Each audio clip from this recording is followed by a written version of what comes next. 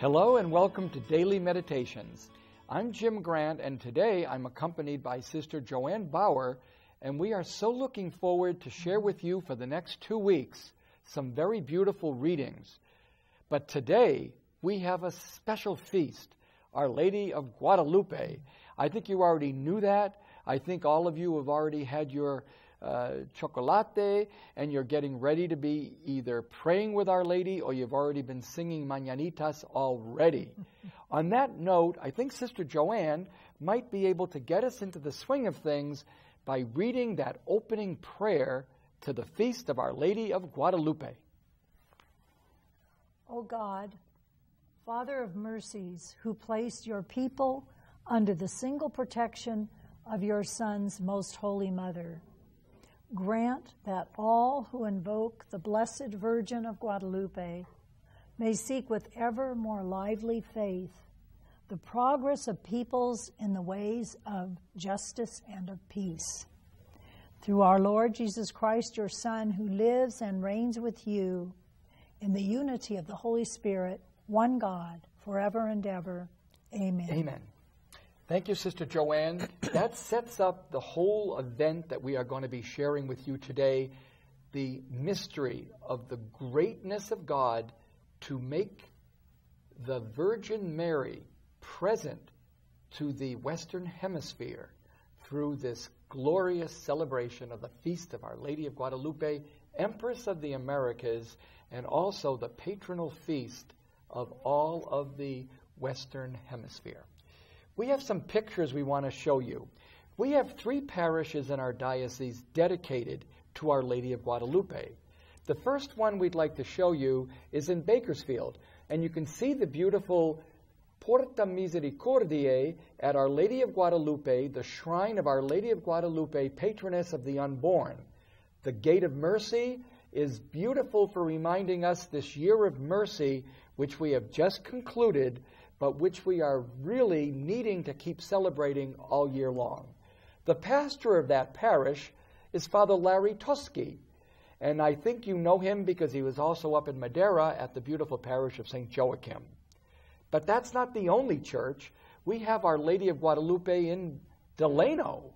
And in Delano, it's a beautiful little church, and we want you to know that that parish is also um, suffering through an experience of a fire, so they're in a sense of um, not exactly having everything working the way it had been, but they do have a wonderful Salvadoran priest, Father Campos, Father Miguel Campos. And, not to be outdone, there is still one more Our Lady of Guadalupe in the beautiful city of Mendota. And this Our Lady of Guadalupe in Mendota is also shepherded by another Salvadoran priest, Father Miguel, who is um, a musician who was on this set once singing a song that he had dedicated to Oscar Romero, a priest and a bishop of his diocese of Salvador. We want to wish all of you who are celebrating today the Feast of Our Lady Guadalupe, here's some memories from one of our mm. processions. Sister, what do you think about that wonderful day when we have those celebrations with all the community down at the cathedral praying to Our Lady? I think it is just uh, so glorious, and it is a sense of family, the family of God. And, you know, one of the things, Jim, that was amazing to me all the years that I've known about Our Lady Guadalupe since being a little child, I never realized that the, the, um, the belt around her was a sign of her pregnancy and that she was indeed pregnant. And how wonderful for right now as we are looking at the birth of Jesus and also the births of uh, the, those in the um, Hebrew scriptures uh, that precede the Gospels for these days.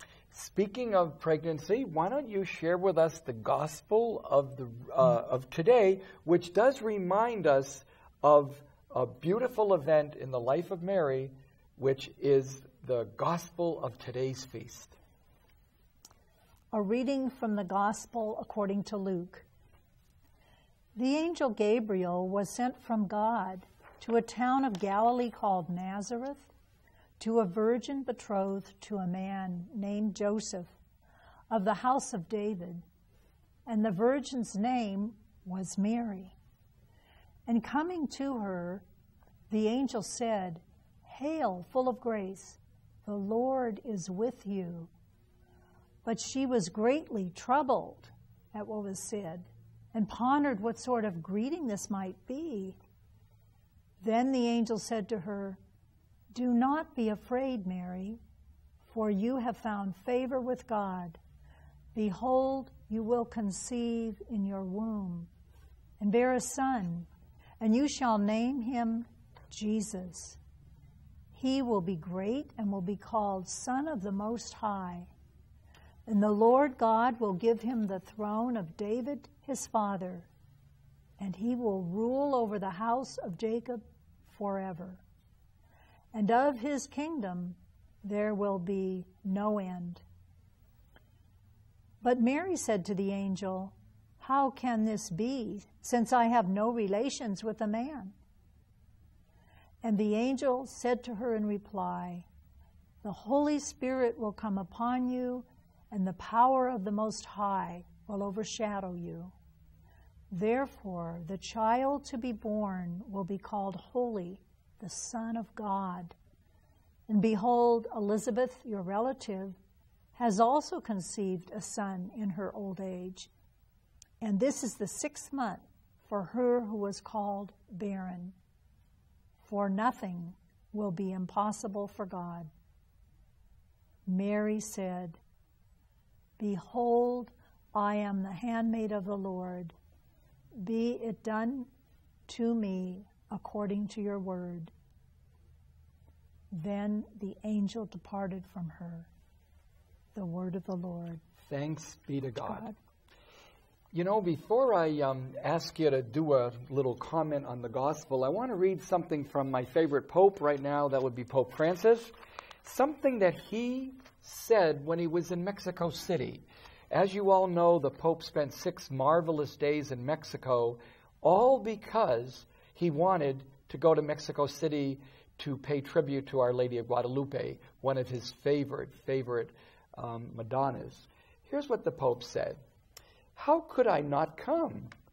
Could the successor of Peter, called from the far south of Latin America, deprive himself of seeing La Virgen Morenita? Just as she made herself present to little Juan, so too she continues to reveal herself to all of us, especially those of us who feel like her or like him worthless. This choice, this preferential option, was not against anyone, but rather in favor of everyone. The little Indian Juan, who called himself a leather strap, a back frame, a tail, a wing, oppressed by another's burden, became the ambassador most worthy of trust. I see we only have 30 seconds, so when we come back tomorrow, Sister Joanne and I will share some readings not about the feast that we just did, but another great feast, St. Lucy. Stay tuned. I hope that you're enjoying your Advent season and that you're finding not only this meditation, but also the rosary and the masses that we offer for you a chance to really get into the spirit of the Advent season, the anticipation of the Lord being present among us. God bless